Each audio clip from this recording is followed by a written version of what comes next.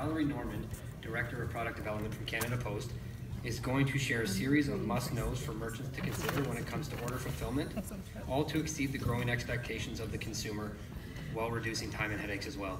Please welcome Valerie.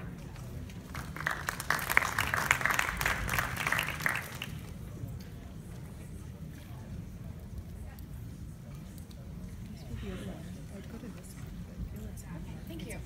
Good afternoon. I'm tall, so I hope this mic uh, works well so I don't have to crouch the whole time. Um, so I am uh, obviously not as cool as Kylie Jenner, and uh, and Canada Post, uh, most of you would say is not sexy in any way, shape, or form. But I'm going to try to change your mind a little bit today. So um, shipping is a little bit of the necessary evil of e-commerce. Uh, when we set up a store, we spend a lot of time thinking about the marketing, the acquisition, and then you get your first order, and there's a little bit of panic. It's like, oh, I didn't actually think that somebody was going to place an order, and now I actually have to get it to that person. Uh, how am I going to do that? How much is that going to cost? What are the things that I need to consider? Oh, a warehouse. Oh, I thought that my basement was going to do for a little while.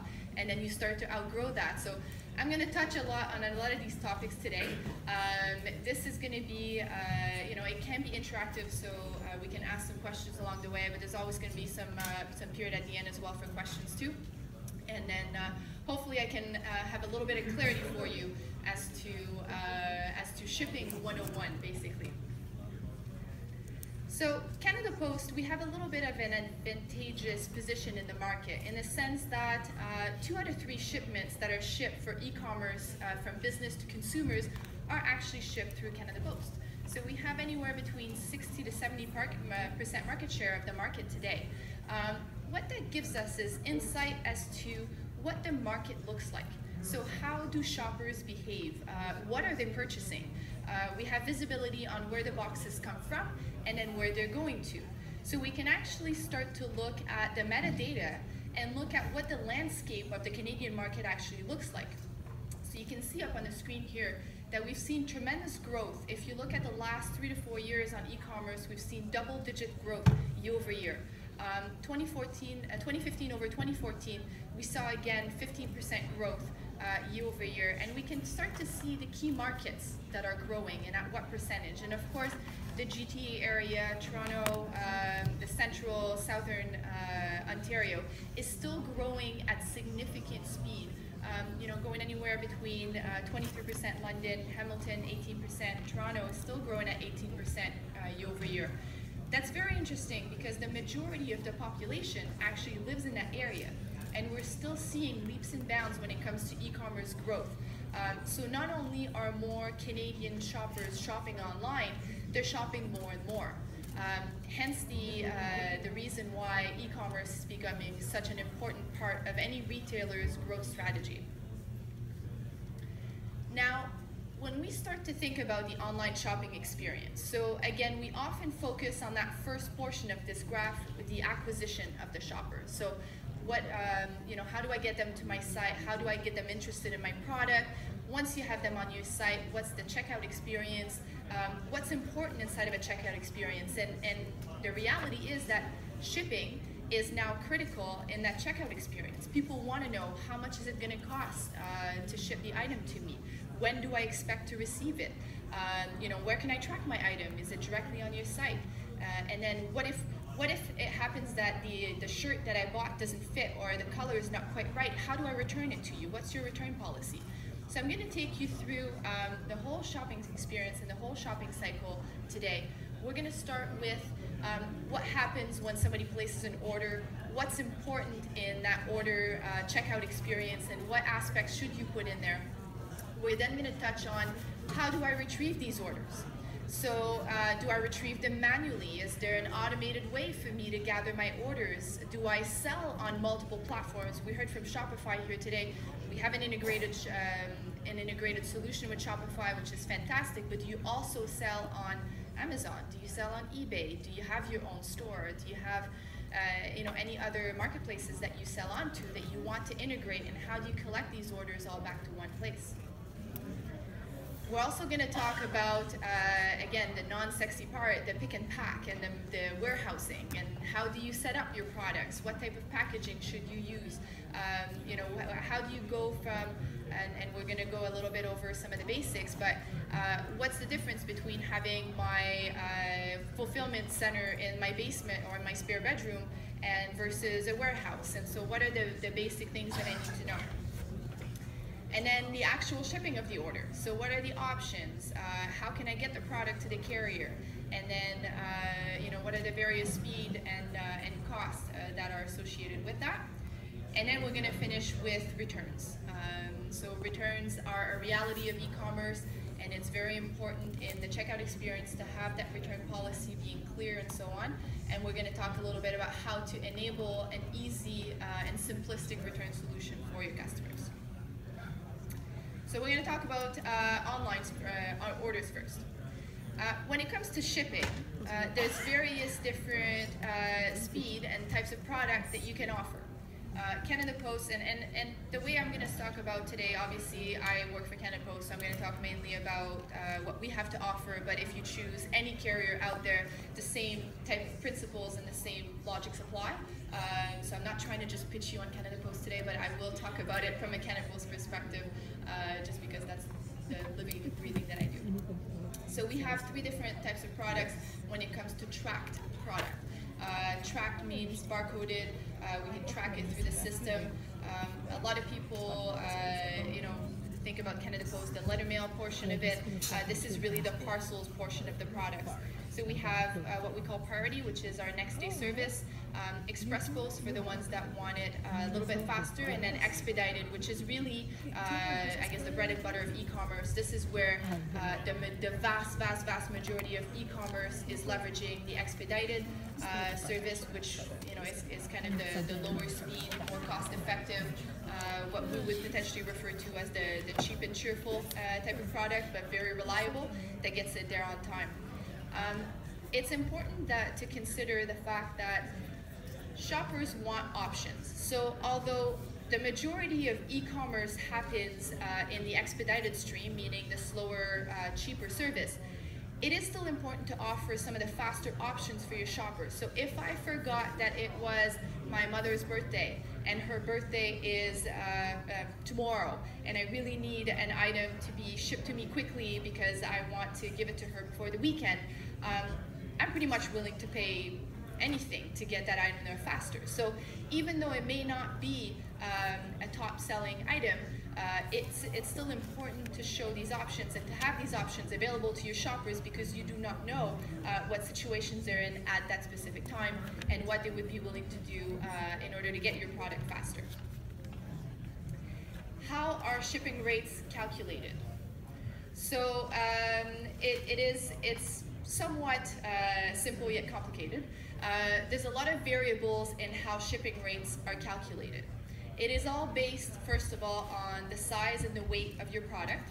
So how, so if you're shipping, uh, for example, a large pillow, which is very light when it comes to weight, but quite large uh, when it comes to size, it is always the greater of the two. So volumetric weight versus actual weight, it is always the greater of the two that is selected because this pillow, although it may not be heavy, will take up room in an airplane or in a truck.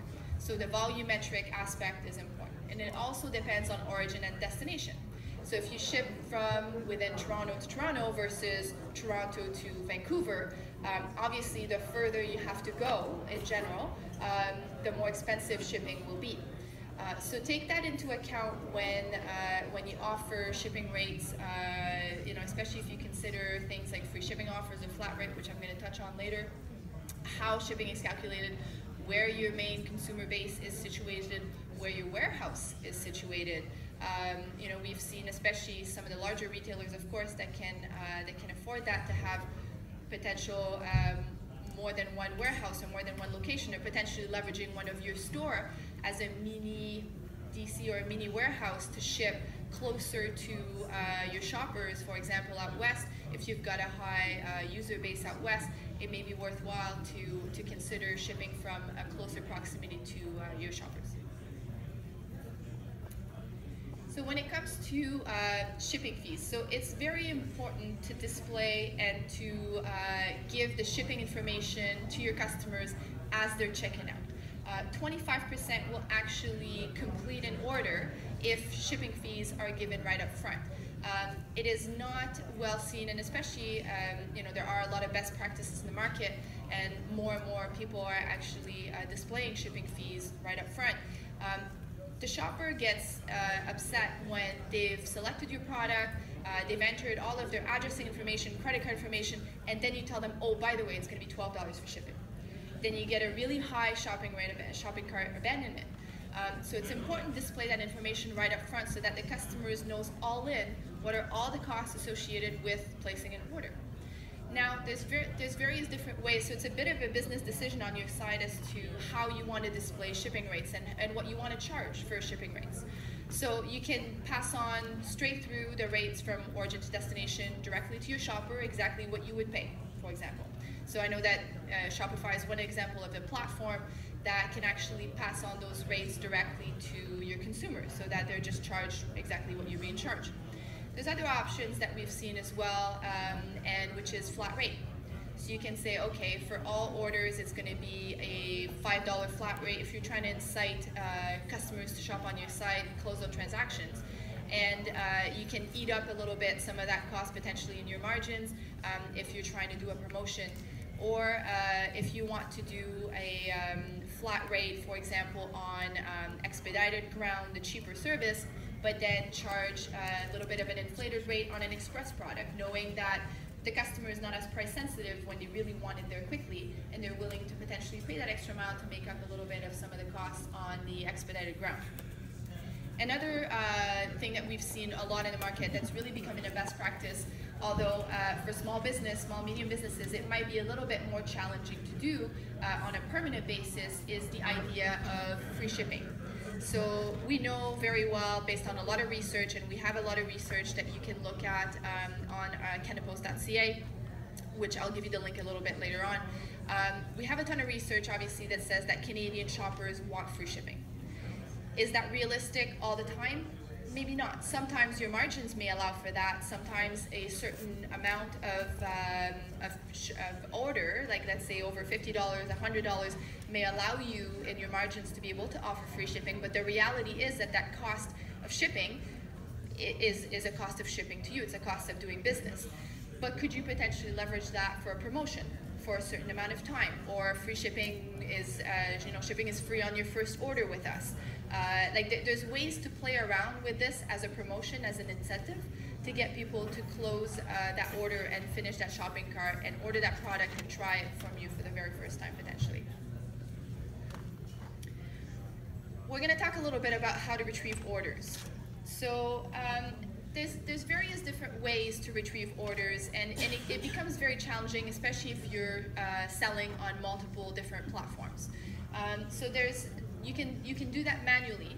Um, some people still do it one to one. They will pull out the orders out of a Shopify platform, out of Amazon, and so on. And then you can either key that into a shipping system or an order management system, uh, or you can potentially import it uh, as a file, uh, whether you export it CSV file, Excel file, and then import that into a shipping tool. There are tools in the market though to help you do that.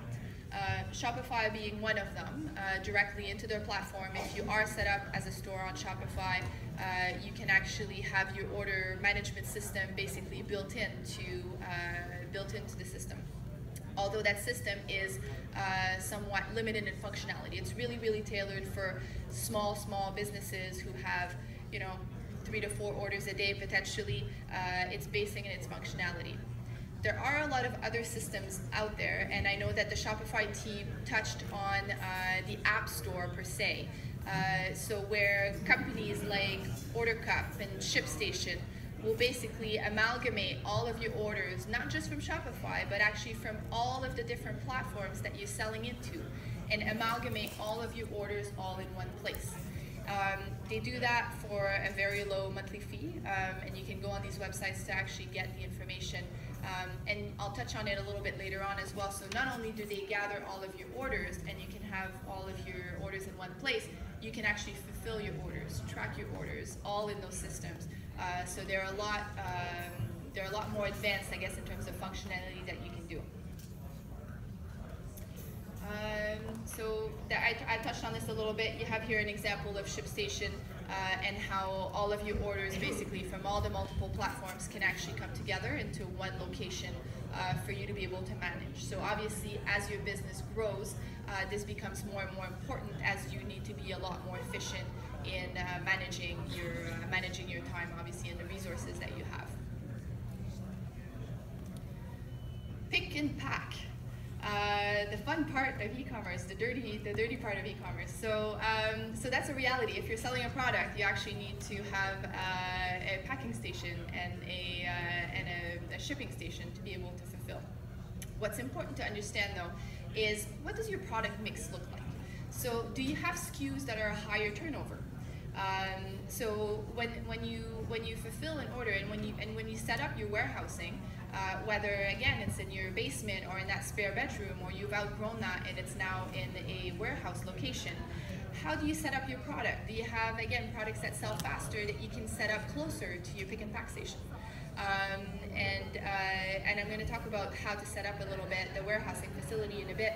Um, but how do you maximize your space? And how often do you process orders? So do you process order once a day at the end of the day? Do you process it, you know, twice a day? How many orders are you getting? Uh, is it every couple of days? Keep in mind though that when we talked about shipping earlier on and shipping costs, customers also expect an expected delivery date. So are you making a promise in your checkout experience as to how quickly that customer is going to get their product? So it, it's one thing to get the, the, the, carrier's date uh, displayed to your to your shopper to say, okay, you will receive, um, you know, if, if, you give it to Canada Post today, I can tell you when I'm going to give it to your shopper. It's going to be in uh, two days or one day, depending on depending on where it's at. But take into account your fulfillment time. So if, if you promise your shopper, yes, it's going to be there in two days because Canada Post said it was going to be there in two days, well, I can only get it there as fast as I have it in my hands. So you actually need to fulfill that order and give it to the carrier for them to be able to meet that timeline that you've promised to your shopper. So is it 24 hour turnaround, 48 hour turnaround for you to fulfill that order before you give it to the carrier? So if that's the case, if it's a 48 hour turnaround for you to fulfill that order, make sure that it's clear on your website and make sure that the promise that you give your, your shopper is there. So the shopper then is going to be, you're going to receive your orders in four days, not in two days, if it takes you 24, uh, 48 hours to turn around your, your fulfillment. So take that into consideration as your customers are uh, making that order from you. Um, because it's important to set expectations. There's nothing worse than not meeting an expectation. If the expectation is set properly and the customers knows what to expect, um, then you're golden. But uh, if you do not meet that expectation, that's when uh, it becomes uh, a challenge and the, the, experience becomes negative and then they won't be um, enticed to come back and shopping on your site.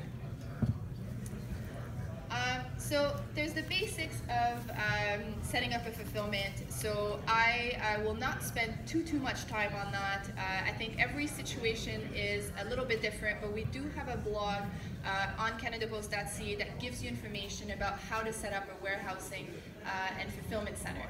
Um, a few key tips and tricks though to keep in consideration is make sure that you have an ingoing station and an outgoing station. So the items that are coming in from your suppliers, uh, products that need to be checked in, products that need to be put on the shelves, uh, either by SKUs, by alphabetical order, however it is, and then you have your outgoing stations for the orders that are ready and um, to be fulfilled and to be shipped. And if, if, if you can, make sure that that outgoing station is close to the door. Because if you have a carrier coming to your home or to your warehouse every day to pick up your orders, you don't want them to have to go through multiple rows of product to get to the back where your pick and pack station is to pick up the items and get them out the door. So just small and, and, and it's funny when you know you don't you don't necessarily think about that when you set it up. Um, it's very basic. It's not rocket science here but it's it's it's um, it makes things much smoother much easier uh, for everyone and much clearer. And and put up a sign out in um, very simple, but makes it very clear. And it's, it's one thing when you have uh, still yourself and, and your mom or your husband fulfilling orders for you because they know where things are. But as soon as you start to outgrow that, and now you have a student come in and help, or that you have, you know, you've got you've got some more staff, make sure that it's very clear, and make sure that your packing station has all of the material required. So that we're talking boxes, we're talking, um, you know, paper or, or padding if you uh, if you if your items are fragile, scissors, tape. Um, you know, they're very basic things, but it's important to have it all there so that you can maximize the efficiency of those people fulfilling your orders for you. Choosing the right type of packaging.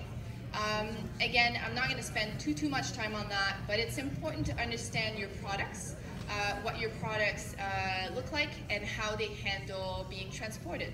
So if your items are fragile, make sure that you consider an extra, at least an extra two inch on each side of whatever box that you uh, choose for additional protection, additional padding. Um, the reality is that when we ship an item, um, there, it, it goes and flows through the system. And the item should be able to withstand a drop of, if you, if you were to hold a box at the end of your hands and drop the box, it should be able to withhold that. I mean, we're obviously not going to start throwing your box around. That's not the intent. Um, but the reality is that as it goes through a system, it will uh, it will go through automated facilities and it has to flow through certain areas. So make sure that it is well protected. Um, is it is it a box that you have? Is it potentially a, a bag? If it's clothing, that's a little bit easier um, uh, or cheaper to, to handle. Um, and you know, the reality is shipping shipping um, uh, packaging uh, is also part of the total cost of, of the item that you that you send. Uh, so make sure that you source suppliers potentially. Uh, it's always cheaper to buy in bulk. Uh, so I've got a few names of companies. We do not get any type of association with these companies, but uh, there's a few companies that offer uh, packaging in bulk that can help you. Um, and think about that box experience as well. Think about um, you know, the, the one thing that you need to consider, especially for a small medium business, um, and, and I talked a little bit this morning about the reality that you're competing against the big guys. So you're competing against Amazon, you're competing against Aritzia, you're competing against Lululemon, um, you're competing against those people that have, uh, you know, a lot, potentially a lot more resources than you do. The way that you can compete uh, with these people is to have that experience being unique. And um, and I was on the panel this morning with uh, the woman with the sock company and then the tees company. It's all about that unique experience with your shopper and, and it's, it's as much on your website as it is when they receive the item at home. So, so it's important to think about, okay, what's that receiving experience gonna look like? Am I going to open this box and have potentially a, a handwritten note saying thank you for your purchase? Uh, or potentially an offer coupon for your next order? Uh, are you going to have uh, some kind of colored paper in there? Or is your box going to be branded? Or like, how are you going to retain that customer? How are you going to make this a really beautiful, positive experience for your shopper? So it is like th that shipment is a marketing opportunity just as much as your website, and you you know that they've already purchased something from you. Like you have an opportunity to leverage this to keep that customer coming back on your site and making that experience amazing. And there's even people online now that are doing what they call unboxing experience, and they basically film themselves uh, doing a little YouTube video, and, and when they're like happy with the company, and they unbox the, uh, the product that they've purchased. Like just just think about how you can leverage that as a marketing opportunity for your company. All right, we're gonna dig into the actual shipping of the orders. Um, so we're gonna talk a little bit about how to print a shipping label. So I talked to you earlier about the various different platforms, different ways that you can actually get your orders from all the different uh, platforms or marketplaces that you're selling to. So these, these systems also enable you to be able to print and fulfill a shipping label. Uh, so you've got different options. Uh, some of them are directly embedded into your platform. And Canada Post has done some extensive work uh, so actually part of what my team has been doing for the last four years is work directly with these platforms providers, so such as Shopify, Magento, uh, you know, IBM, and so on. Like we've, we, we've got the whole list on our Canada Post website, but what we've done is we've enabled that technology to be ready for you so that you don't have to code it yourself and it's embedded inside of your platform, and you can print the shipping label directly from there. Um, so Shopify, I believe, have uh, shared with uh, with you a little bit what that new application looks like. Uh, we just launched a new one uh, a couple of uh, actually in the fall of of 2016. Um, so you can now print labels directly on your Shopify store. There's also other shipping applications. So the the application that, for example, Shopify has directly built into their store uh, is really tailored for very small businesses.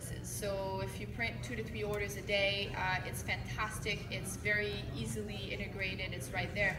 But you do have to enter the information, and the labels are created one on one. So you don't have the ability to do bulk production of labels if you import a lot of orders. So depending on the size of customer that you're at now, um, you may uh, want to consider some other applications such as uh, Order Cup, Ship Robot, ShipStation, which again will gather your orders from all various different selling platforms that you have and can help you fulfill your orders directly into that system um, right in right in your I guess shop at the uh, ShipStation application uh, and you can print shipping labels and monitor your orders directly there as well. They also keep the tracking information, tracking number, and can send that back and push that information back either directly to your customers or uh, through your platform for them to be able to seek and see where their order is at at that point in time. Canada Post also has some tools. Uh, so keep in mind the other tools that I've shared, uh, most of them have a fee associated with them. Uh, so Canada Post obviously has our own uh, set of shipping tools. Uh, we've got what we call here EST Online, which is available today. We're just about to launch, we're in beta now for a new shipping system called SnapShip, which will be available very shortly. Um, and you can access all of those through uh, either your Solutions for Small Business, uh, which if you're interested in, so we have a program called Solutions for Small Business, uh, which basically gives you shipping discounts. Uh, so the more you ship, the more you save. You can sign up, it's completely free, gives you access to all of the tools that Canada Post has, uh, has to offer